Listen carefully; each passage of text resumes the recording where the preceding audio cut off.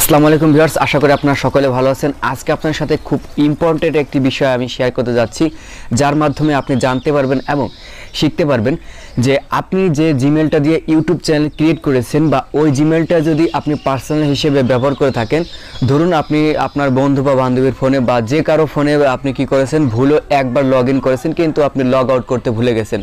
তো সেক্ষেত্রে সে কিন্তু আপনার জিমেলটা বা আপনার ইউটিউব চ্যানেলটা কিন্তু যে কোনো একটা ক্ষতিগ্রস্ত করে দিতে পারে।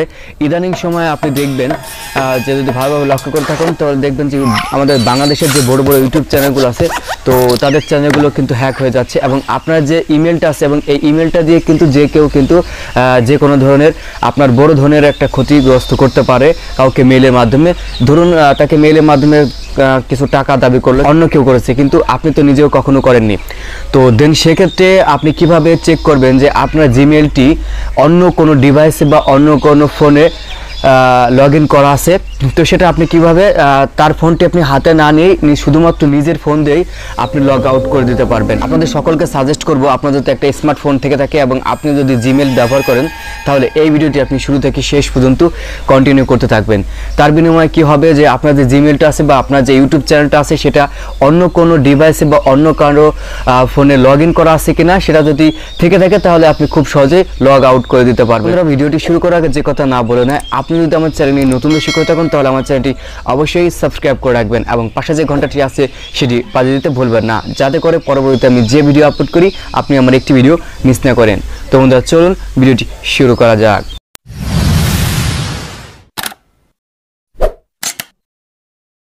তো প্রথমে আপনি কি করবেন? তো প্রথমে আপনাকে যে কাজটি করতে হবে, আপনি আপনার ফোনটি হাতে নেবেন।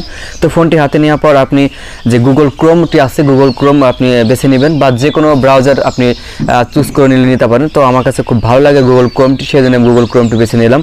তো গুগল ক্রোমটি নেওয়ার পর আপনি এখান থেকে লিখবেন Google G double O G L E Google এখান থেকে লেখার পর গুগল অ্যাকাউন্ট লিখবেন, ঠিক আছে? তো যখন আপনি গুগল অ্যাকাউন্ট লিখবেন, এবং স্কল পর আপনি একটি স্কল করে নিচের দিকে চলে আসবেন স্কল করে নিচের দিকে আসার পর আপনি এরকম একটি ইন্টারফেস দেখতে পারবেন, যেখানে দেখতে পারবেন যে গুগল অ্যাকাউন্ট ঠিক আছে? তো আপনি কি করবেন? এই গুগল অ্যাকাউন্টের পর আপনি এখানে ক্লিক করবেন। তো আমি গুগল অ্যাকাউন্টের পর ক্লিক করলাম। তো আমি গুগল অ্যাকাউন্টের পর ক্লিক করার পর আপনি এখানে দেখতে পারবেন যে আমার ছবিটা, বা আপনি যে জিমেল আছে, আপনার ছবিটা যদি ছবিটি সেট করা থাকে, তাহলে আপনি দেখতে পারবেন। যাই হোক, এখন আপনি এখান দিয়ে দেখতে পারবেন যে উপর দিক দিয়ে দেখতে পারবেন যে এখানে হোম এবার হচ্ছে পার্সোনাল ইনফরমেশন ঠিক আছে? এবার হচ্ছে ডেট আপনারা দেখতে পারতেছেন। তো আপনি কি করবেন? এটাকে একটু স্ক্রল করবেন। যখন আপনি এটাকে স্ক্রল করবেন, তো যখন আপনি স্ক্রল করবেন স্ক্রল করলে আপনি এখান থেকে সিকিউরিটি নামে একটা অপশন পেয়ে যাবেন। একটা সিকিউরিটি নামে একটা অপশন পেয়ে যাবেন ওকে তো আপনি কী করবেন? এই সিকিউরিটিতে একবার একটা ক্লিক করবেন। তো এখানে আপনাকে কিছু সময় লোড নেবে। তো লোড নেওয়ার পর আপনি কী করবেন? স্কল করে একটু নিচের দিকে চলে আসবেন। যখন আপনি স্কল করে একটু নিচের দিকে চলে আসবেন, তখন এখানে আপনি দেখতে পারবেন যে এখানে এখানে লেখা আছে আপনার ইও ডিভাইস এখন এই ইও ডিভাইসে আপনাকে আপনার যে জিমেলটা আছে, ওই জিমেলটা কোন কোন ফোনে আর কি লগ ইন করা আছে, আপনি এখান থেকে দেখতে পাবেন ওকে তো আমি কি করব? এখান থেকে আপনি দেখতে পাচ্ছেন যে জিওমি রেডমি ফাইভ এ মানে আমি যে ফোনটা দিয়ে স্ক্রিন রেকর্ড করতেছি, এই ফোনটাই হচ্ছে আমার লগ ইন করা আছে এবং এখানে লেখা আছে দিস ডিভাইস মানে এই ফোনে আমার কি আছে? লগ ইন করা আছে।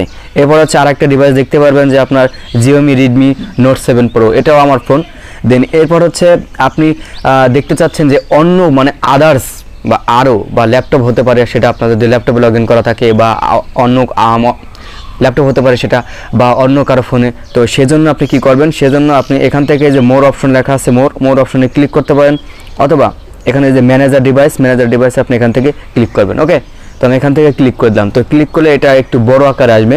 তো এখান থেকে দেখতে পাচ্ছেন যে সেম টু সেম সেই আমার রেডমি ফাইভে দিস দিস ফোন এই ফোনে লগ ইন করা। দেন এরপর হচ্ছে আপনি নিচের দিকে চলে আসি।